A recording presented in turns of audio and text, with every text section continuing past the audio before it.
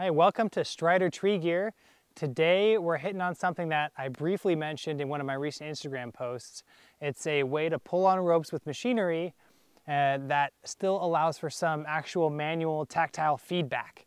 So it's a little bit safer on your ropes and on your system. It's a little bit easier to judge just how hard you're pulling when you're pulling with a heavy piece of machinery. So today we're gonna demonstrate uh, this technique on this log back here and um, we'll show you trying to drag the log with the machine up the hill. We've got kind of a really unstable surface. It's at a little bit of a downhill and my ditch witch probably doesn't quite have the capacity to just grab on the end and pull it up. So next we'll pull on it with a rope. And this is a classic scenario for breaking ropes.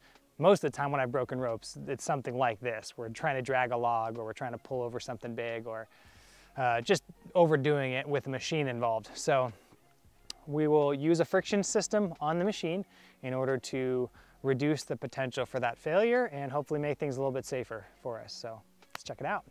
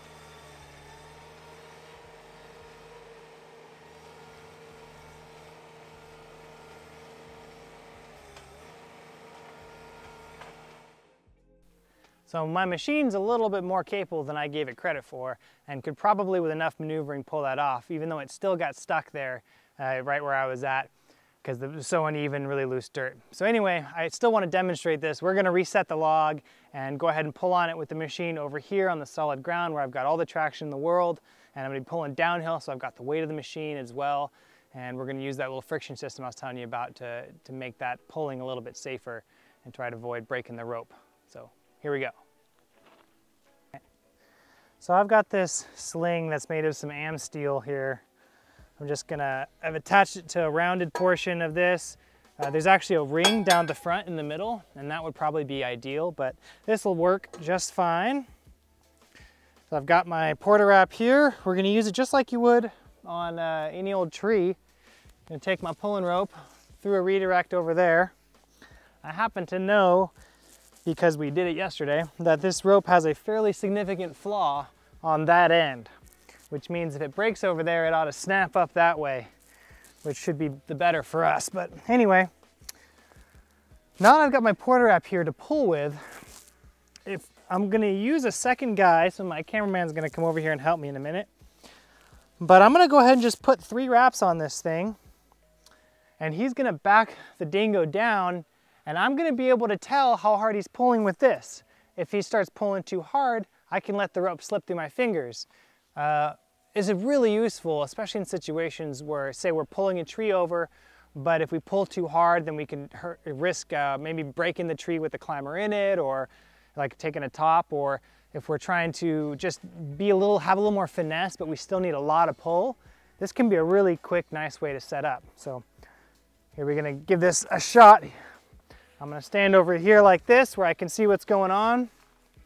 And I'm going to modulate the friction while we pull on it with the dingo.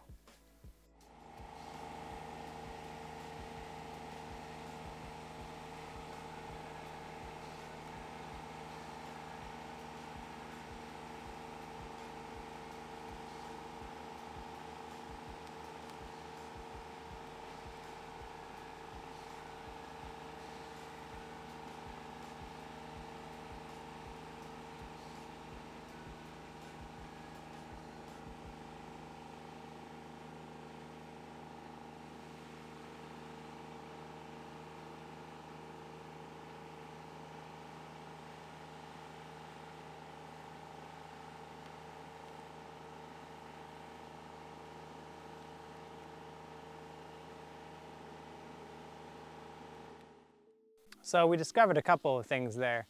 Started pulling on it with the dingo. I had two full wraps around the porta wrap, only to realize that the rope was still slipping through even when I was pulling on it hard and the log wasn't moving. So I put a third wrap on. We were able to move the log a little bit, which is good, but it started slipping uh, despite my pulling on it as best I could, which means this is not enough rope to pull that log. I know from other experience that if I've got three wraps on the porta wrap, then that is about the maxed out amount of weight that this rope can support comfortably. Uh, a log I took yesterday actually burned through a little bit of the cover when I had three wraps on it, even though I had full control of it at the porta wrap, which just means that this rope's maxed out with three wraps. So having that hand feedback saved my rope from being broken again, and I know, well, I gotta better go pick up a bigger rope if I'm gonna try this situation again. And that's the beauty of this system, is it allows me to actually have a sense of just how hard I'm pulling, especially if you already have some idea of what it feels like to have weight on your Porta wrap system from rigging. So it, it allows you to use your hand feedback knowledge from rigging and use it for when pulling with a machine and give you some idea of just how hard you're pulling with the machine to avoid breaking things and causing damage. So I hope you found this useful today. You can use this trick whether you're pulling with a truck, whether you're pulling with a small machine, excavator, whatever it is. This can make your pulling operations much safer. So hope you found that valuable. Thanks for joining me at Strider Tree Gear. Be sure to like, comment, subscribe, hit the little notification bell so you guys can uh, be aware when the next video comes out. And happy holidays to you. Hopefully we'll see you next time.